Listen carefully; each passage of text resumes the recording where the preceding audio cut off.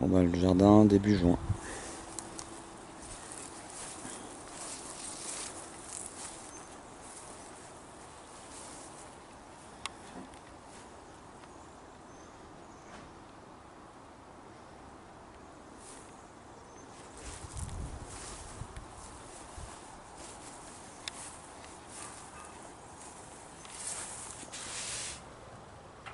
Artichaut, les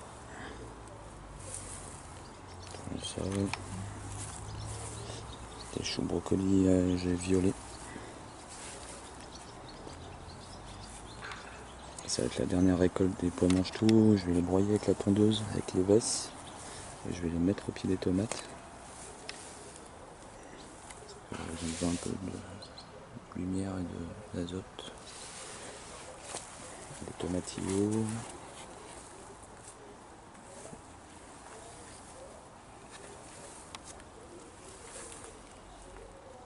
Je plantais des haricots nains et des maïs à popcorn un petit peu partout. Enfin, dans chaque trou, je mettais deux graines de haricots, une graine de maïs. C'est pas partout ça. Comme là, il n'y a que le maïs. Il n'y a pas de maïs. Des salades des fraises, grosse récolte cette année. Partout.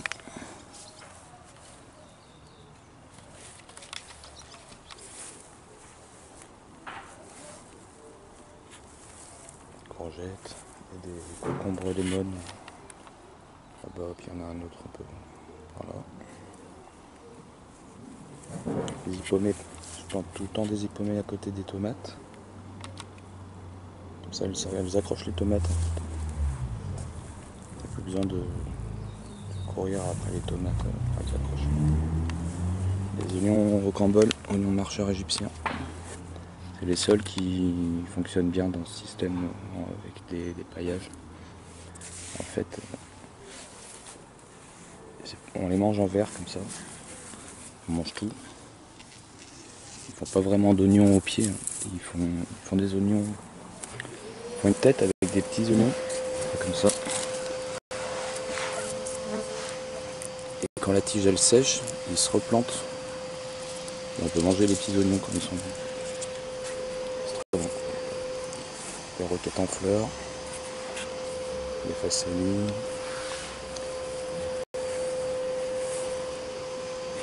La veste euh, que je vais enlever. Elle a fini de fleurir. Je vais la broyer, je vais la remettre euh, au sol. Encore un artichaut.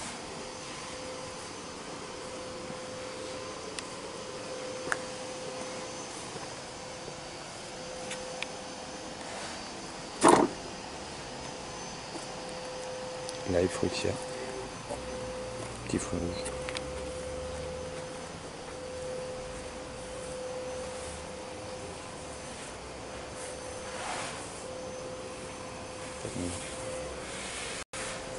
Oseilla macro qui va pas tarder.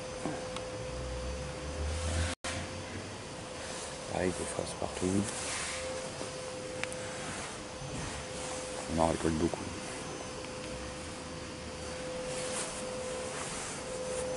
Euh, des anémones du Japon qui, ressortent. C'était de l'autre côté où il y avait la butte avant. Elles ressortent de ce côté, très bien. de mai, des groseilliers, framboisier, deuxième année, produit beaucoup.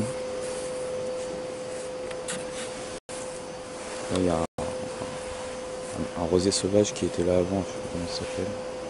C'est une Un, arbre à papillons, un petit pêcher sauvage,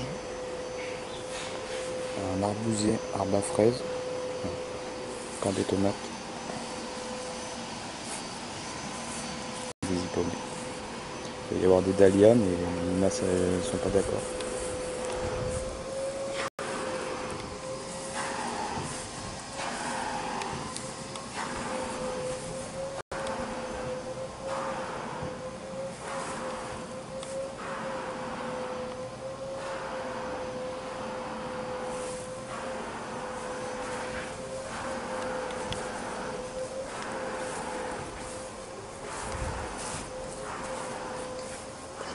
Début juillet. Petite récolte du jour, alors les derniers pois mange tout, les siliques de radis, la roquette, les feuilles de chou, deux sortes de laitue et l'oignon euh, égyptien qui se mange en verre comme ça. On peut tout manger.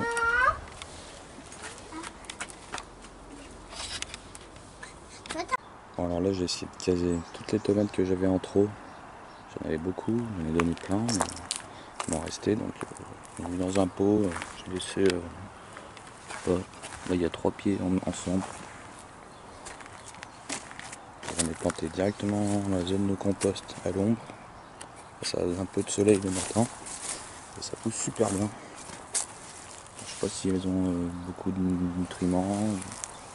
Elles sont, contentes. Il y a des pommes de terre, des rats qui ressortent aussi tous les ans.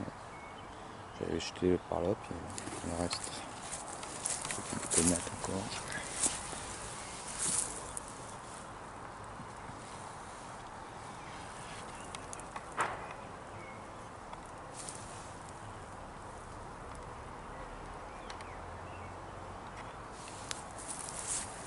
Compost. Parce que on est un peu obligé.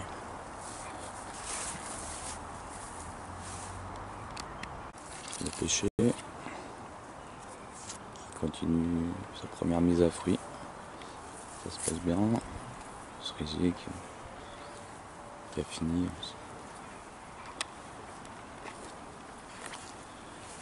Une autre petite zone de, fruits. Un ponceau de fraisier. Ici, il y aura des poiriers euh, palissés là, qui vont venir. On a fait des, des greffes cet hiver.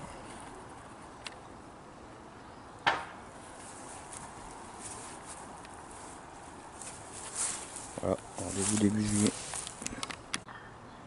Alors ça c'est un petit bac de culture euh, rapide à faire. Euh, il est percé.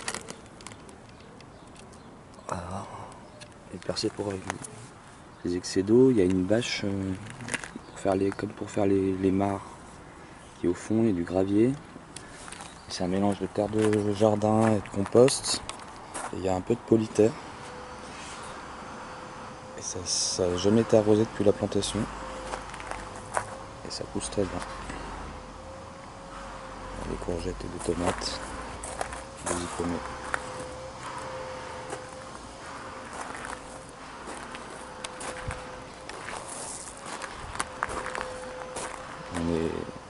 Juin.